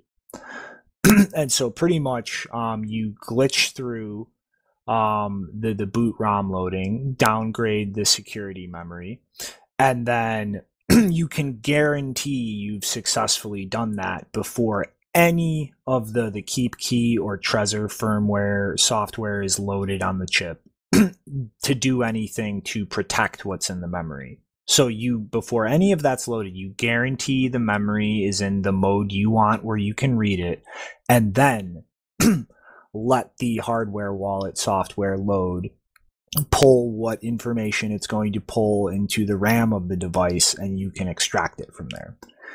And given that um, it's only encrypted um, in the case of the, the KeepKey, and I'm pretty sure with the Trezor, not positive though, with just your PIN. And once you get that encrypted seed off of that device, you can just brute force that. It's like I think on the KeepKey nine uh, pins or nine numbers is the biggest pin, and the key to encrypt the seed is just derived from the pin. So that that's trivial to brute force. So like pretty much anything like if if I'm right and this is the the unfixable uh, exploit recently talked about with the Trezor, which I'm I'm pretty sure it is. Um, you're you're wrecked if somebody gets your device physically. Like your entire threat model should now be if this device is stolen, all my coins are gone. You should immediately move things and, and keep in mind do not just mix all of your UTXOs to move things, but move things to a passphrase, one that you are positive you will not forget or lose. And I would say go the full step after that to get a more secure device that actually uses a secure element. because it's it's just like this is out there now. This is completely unfixable in this chip. And Kraken's estimate of what it would cost to build a, an idiot device to do this is like $75. So the, this is pretty much the new landscape now, and you should completely adjust your coin security accordingly. Yeah, I don't know how many people were taking KeepKey too seriously. I mean, you know, I've met these guys and they passed me one of these things. It's funny, it's like a running joke. It's like everybody in Colorado's got like a KeepKey sitting around their place, just still in the vacuum seal, like hadn't touched it. I mean, it's just because they throw these things out, they're passing them around. And yeah, we haven't really seen much development going on in that space other than, you know, they have been working with Shapeshift and, you know, Shapeshift has been trying to build out this new non-custodial exchange and the way that it operates, but yeah, I mean, we're in a day where you're going to have like, you know, other competitors out there, guys like Kraken who are like, "Hey, you know, that, you know, you saying it's non-custodial, but look at the way that there's all these security holes in your setup." And so yeah, it's uh you know, whatever, yeah, it's a different landscape and it's one that's competitive and you know, in that competition, you better make sure that you're building out what's right for, uh, you know, people's Bitcoin security. Otherwise, somebody's going to try and uh, expose that. Yeah, and I mean, like you know, dude, just for like shits and giggles, I I had an old KeepKey fucking sitting around. Uh, it took me my bare hands in about thirty seconds to get the screen cover off, uh, which only broke a few of the plastic latches, which would not have shown if I just put it back on there. And um, I, I ended up destroying the, the case to get the actual chipboard out. But now seeing how it's put together, all, all it would take is is a fucking a hair uh, dryer or something to just heat it up enough to get the uh, the glue that puts the the case over the chip in place off and, and then be able to put it back together. So like this is something realistically like going forward someone could grab your device do this while you're not home and then put it back or just load your seat on a new one and leave it there without you noticing and not just steal what you have now but wait and steal what you're going to have later too So I recently tried to use one of the new KeepKeys that I got for free. I'm not gonna say which event it was, but it should be relatively obvious. Um, uh, and I don't know what the hell was going on, but I couldn't even get the firmware to update. Like it was basically stuck at this point where it was like, you have to do a firmware update. And it's like, okay, trying to do that. Why is it not happening? And while that was happening, I kept getting all of these prompts like going just just getting the device to turn on and the app to open everything. It kept giving these prompts to like open a shapeshift account. And i'm like no thanks. Nope. Don't want to do that. Not interested in shapeshift. This is a KeepKey. It's a hardware wallet. Don't need shapeshift for that. And it just i like could not get the firmware to update. And i'm wondering if there was i mean that might be a separate issue from the shapeshift prompts but i'm wondering if they've now started to make it so that you can't actually use the device without shapeshift or if they're moving in that direction it would not surprise me at all Well, that's retarded. Um, because you know, like I said, like this this exploit, any hardware wallet based on the SN or STM32 that does not also have a secure element is wrecked forever, for all time. If somebody gets their hands on it, it's wrecked. And Kraken says $75, you get an idiot device that an idiot can fucking run this exploit with. So it's just like you know, fuck just the KeepKey. Like, stop using devices that don't have a secure element. Like, they're at, at the very least this specific like chip, the STM32, without a secure element because it, it's wrecked, done. There is no fixing it.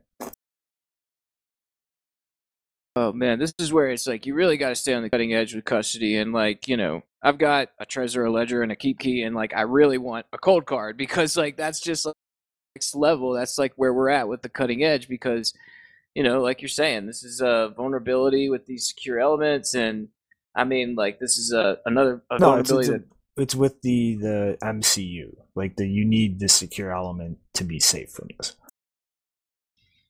Okay, well, maybe it's just the competition between hardware wallets like Trezor and Ledger and all of that that we've seen this year that's kind of got me a little spooked to where I'm like, I got to get a Coldcard because, you know, it's like, well, these vulnerabilities are kind of in everywhere. And I'm just thinking about, you know, yeah, this new ShapeShift exchange model is kind of like you need to sign up with a KeepKey, a Trezor, or a Ledger. And like it kind of offloads the custodial aspect of the, like what all they have to expense for onto the customer.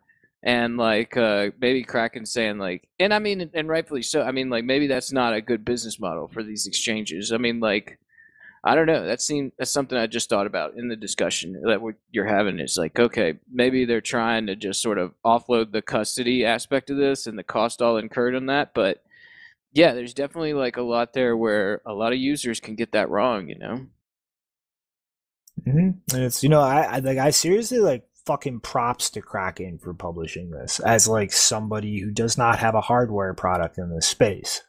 Because like you know it's like I said I'm I'm almost positive this is the unfixable Trezor exploit uh that that that came out a few months ago.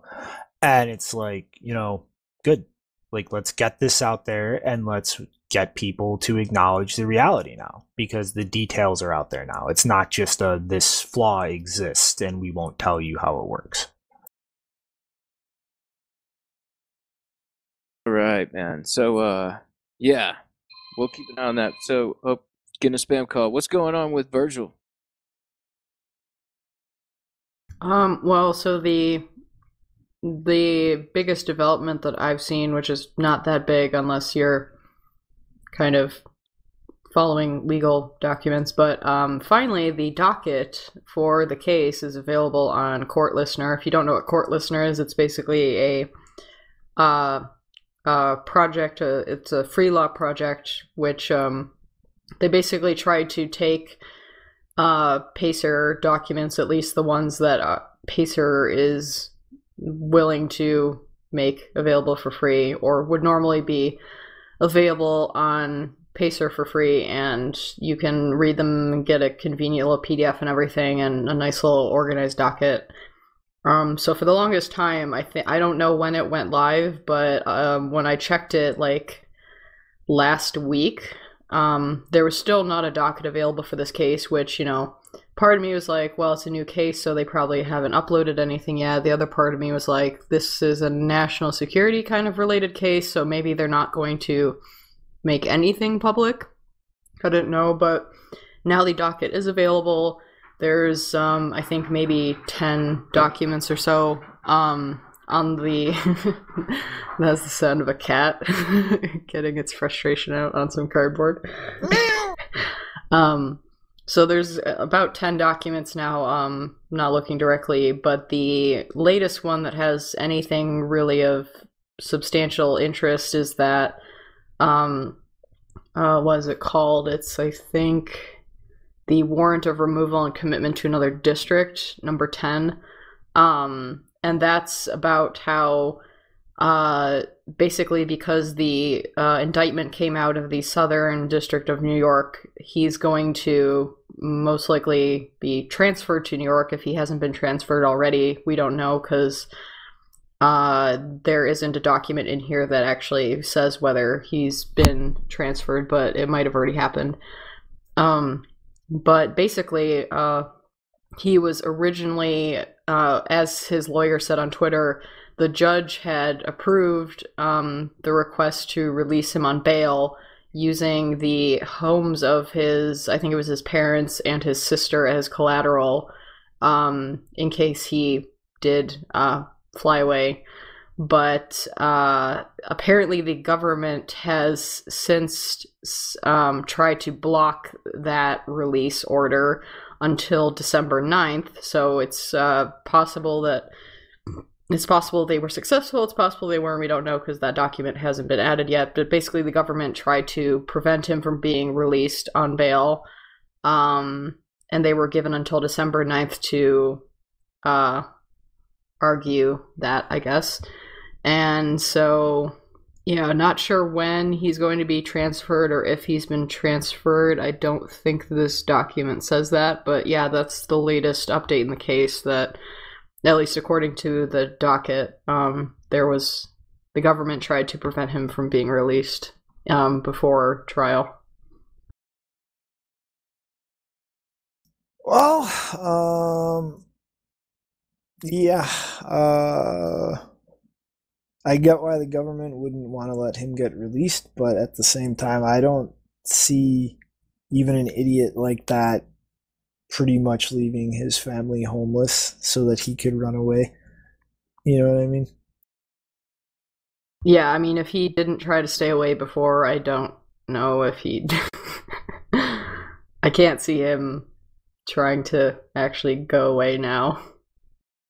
hmm Um, the only other thing I wanted to say is, uh, again, I know Shinobi's not a fan of Laura Shin, um, but there, there, are, she she did an episode with um, actually a woman who I think is at the Human Rights Foundation, um, that she actually Korea um, through I think I think she escaped through South Korea first, and then she went to China. And so basically, the episode is her telling her story about how she escaped and what it's like to live there. And they briefly talked about Virgil's case towards the end, and she was saying about like what what the impact is of Western people uh, deciding to become tourists, and what like some of them think that they have this like savior complex where they're actually going to help people there by like showing them that they're oh look i'm a good i'm a good person and maybe i'll sneak them some money or something. Um, and she addresses that by saying that uh, one of the propaganda points that they're given throughout their entire life is that you know north korea is the envy of the world. And um, even the foreigner like the foreigners are all jealous of us. And you can tell that they're jealous and that they respect our leaders so much because when they come here they bow in front of all of the statues and the portraits which is exactly what tourists are instructed to do because if you don't you risk getting shot. Like there was uh, she mentioned a woman who um, was just told like don't cross this line because i guess they were near a section um, some kind of area where they weren't supposed to go and she crossed into that section. I don't know why. Maybe she's like they're not going to hurt me and then they shot her right there and then. So yeah they basically the north koreans see all of these all of these tourists coming and they're like there's the proof of the propaganda because they're not being they're they're not visibly being forced to do it they just look like they're doing it. Um so it's not helpful. Basically the, she said the only way to uh, the the there are more effective ways of helping people than just becoming a tourist and giving them money which is another thing like e- to even get into north korea is super expensive relatively. Um like virgil paid i think it was like 4000 something dollars to go. And where is that money going? It's going to the regime. It's going to these tourist agencies that have direct connections with the government. Um so it's just a, it was a really interesting episode. I do have to warn you though uh, and I hate this about podcasts, but she has this like she has one of those like mid episode sponsor ads in the middle. So you're hearing this like really horrific story about her being sold into sexual slavery, and then this sponsor ad comes in the middle, and it's really jarring. So just be aware of that because it was really jarring for me to go from that to that. So other than that, interesting episode and perspective on the case from someone who's actually from there. Mhm. Yeah, that does sound like an interesting story. I'm sure. I'd, I'd like to hear that. What podcast was that on again? It's Laura Shin's um what is it, Unchained. Yeah. Okay. Yeah, I'll have to check that out. hmm All right. Well, in the interest of not having a over two hour episode, I'm gonna jump into the next one real quick. Uh so Nunavut, Canada, uh, is in a real interesting situation right now. Uh, I, would argue that this is probably the most serious ransomware attack um, there has been. Um, even though it's literally in a town way in the northeast of Canada. Um, it's got 38,000 people there. Um, and pretty much it shut down all of the uh, health, family services, education, um, legal, and financial systems in the entire town to the point where um, literally the whole town is counting on food banks to feed themselves because everything is shut down and just not working. And they're projecting um, having to rely on food stamps until into 2020 to actually get the the systems up online. And like I, I don't even I don't really think that this is entirely a legitimate thing. Um, but like people from the town um, government were kind of blaming the fact that they have to rely on shitty internet connection as a, a part of why their security practices were so horrible. But another part of this is like th- this this happened while the entire um, pretty much IT team for all these systems um, to respond to cyber attacks were on vacation. And so the, this this entire town is pretty much just ground to a halt to the point that they need to count on food stamps now to eat because even their financial systems are completely fucked.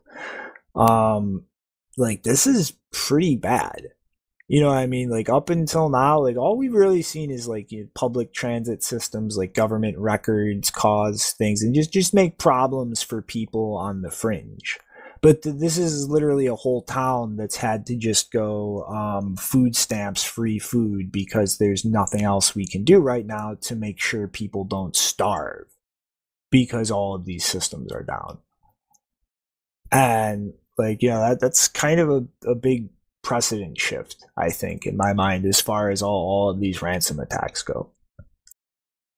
Yeah, man, these ransomware attacks, they're just going to keep attacking public infrastructure till, you know, people start to take security seriously and then they'll start to think more about maybe having some Bitcoin on supply in case this thing doesn't happen. Just like you either better upgrade or better hold some Bitcoin.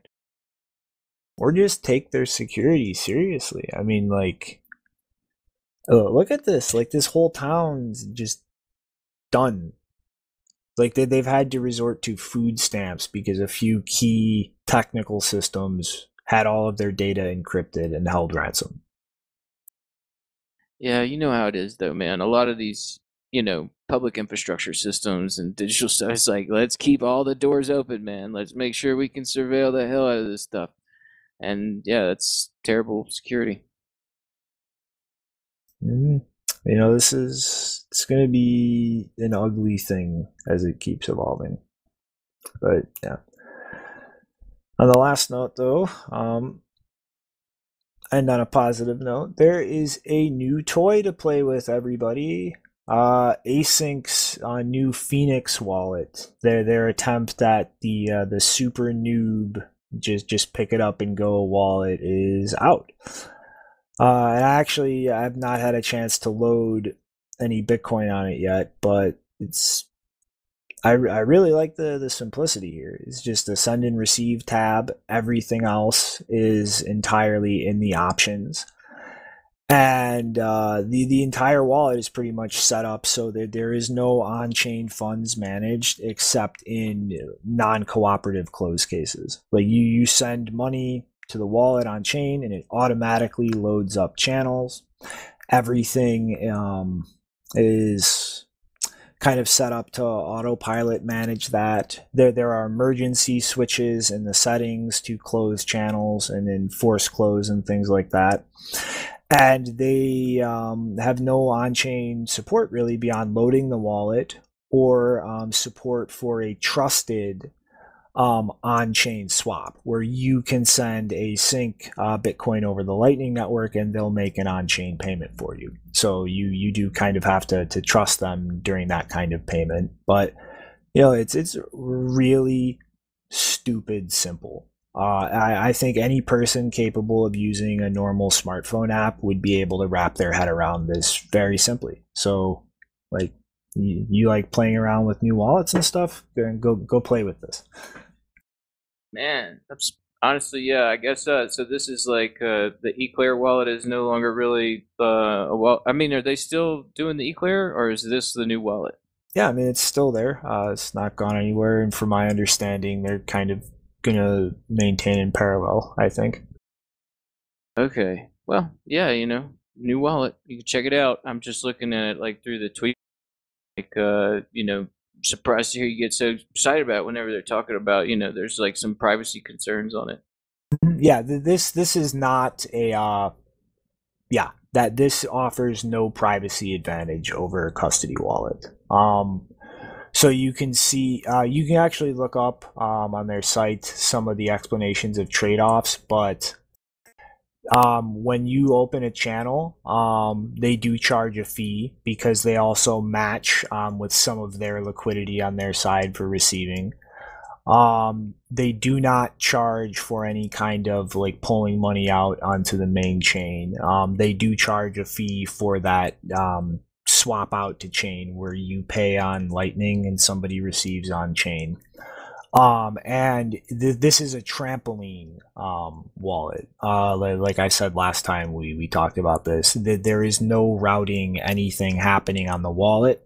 It connects to ACINQ's node, which calculates the routes. So, like, absolutely keep in mind, like, Async sees the entire payment, and there are these fees for things. But you know this this wallet is not for you or me or Janine. This is for people who can't figure out how to make something like Eclair wallet work. You know what I mean? And over time, because um, trampoline nodes, um, ones that calculate routes or parts of routes for you, are um, something that is planned as a standard on the Lightning Network. So over time, there will be other people besides ACINQ running a trampoline node, but for right now, um, they see all of those details. Yeah, digging through this more, you can see they've got blog posts on the trade offs and how this is uh, something that should be mitigated in these trampoline payments as they become more prominent across the Lightning Network. Mm-hmm yeah, it's just, you know, they're kind of the first ones out of the gate with it. So until other people catch up, like they're the only ones running one. All right, let's get some more trampolines out there. Mm-hmm. So I guess, uh, Janine, you got anything to toss in on that? Nope. All right, then we move into final thoughts with five seconds to spare until the two hour mark. Kaboom. All right, I'm gonna give a final thought to uh, just say how awesome it was to see like you know BTCPay server kicks on. Like, I mean, I didn't watch the game, but I mean, like, I seen clips of you know uh, is uh what is it Russell Russell uh Russell Okung. Russell Okung Okung Yeah, Okung, I think. Yeah. yeah. He uh he wore those BTCPay sneakers at a game, and I was watching the highlights, and I was like, oh man, that's pretty awesome to see. Like, you know, I mean, it's just one of those things where it's like Bitcoin is becoming more prominent, and like you know, you I think we've seen like Bitcoin advertisements in like soccer leagues in the Europe, you know, you know maybe football or whatever. Well, this is like American football, and like you know, one of these starting linemen you know, he's like a big guy. He's got these big bright green shoes on for BTCPay server. I think that was awesome. So uh, just a shout out to Russell and Bitcoin is and every. And I know he was talking about maybe traveling around the country a little bit. You should come to Boulder, man. Check out what's going on over here. I know you said you love Boulder, and yeah, come on back. We'll uh, we'll host a bunch of Bitcoiners together, and we'll talk about what Bitcoin is doing. hmm Yeah, that was pretty fucking awesome. So, Janine. Well, so when I said at the beginning of this episode that I was in complete darkness, I wasn't really referring to the time of day or the weather. I meant societal darkness and despair because Orange Man's atomic blonde brother has been given a siege of power again, which means there's no, ch- no chance of pressure coming from the office of the prime minister to maybe maybe get Assange moved to a less draconian prison, maybe fully released because no, I don't trust atomic blonde balloon boy. Who's that? Is that that Boris guy? Boris Johnson. He was. He's like the. He, he's like the British Trump, right? Every country deserves their own Trump. Well, this is where it was like just you know it shows goes to show that Trump wasn't just a locality thing. It was something that's been going on predominantly across the, the world. But uh, yeah, I'm a bunch of people reading on uh on Twitter yesterday about some election going on over there. It's incredible how much it's like. I just like I just don't know much about what's going on over there, other than I know it's a parliamentary system, and yeah, The conservatives got a massive, uh, like, did they dominate right now? They are, aren't they like, uh, like close to half or a little more? Uh, now, Ginny. Um, I don't remember, but I think so. the The vote was counted overnight, so there's no more. I don't. I don't think they're still counting. I think they finished this morning or the afternoon. Yeah, what I saw was like 300 seats uh, went to the conservatives, and I I think there was like one other party that got like a hundred something, and it just kept tailing off. I'm sorry, Britain, but you should have left that country back whenever we boarded the boats in the 1700s or so, man. hmm But Um, yeah. that that was that was way before the 1700s. what was it? It was like the late 1400s. Like, I mean, you know what? Yeah, we could talk about like everybody was coming to America at a certain point. Like, you know, where I'm from, New Orleans, like a lot of that stuff's been around for thousands of years, man. That place was before the United States, and it's continuing on. hmm Well, I guess, uh, yeah. My final thought is I hate adulting and having things to do because Expanse season four just dropped today. I want to do nothing but watch the whole series, but I have things to do. I hate adulting. Just got to get up early and get it all done. But yeah, that's as far as the show goes. We got it all done. I guess with a little over two hours, but that's all right. We uh we're gonna work on that. hmm So I guess, uh, hope it was fun, punks. We'll catch you next week. Adios. Hillhallorstan Zeriloid Mosner Mosner That's inget kösensryd Inga fotsryd I sinne Jag ser i ditt sorg mår jag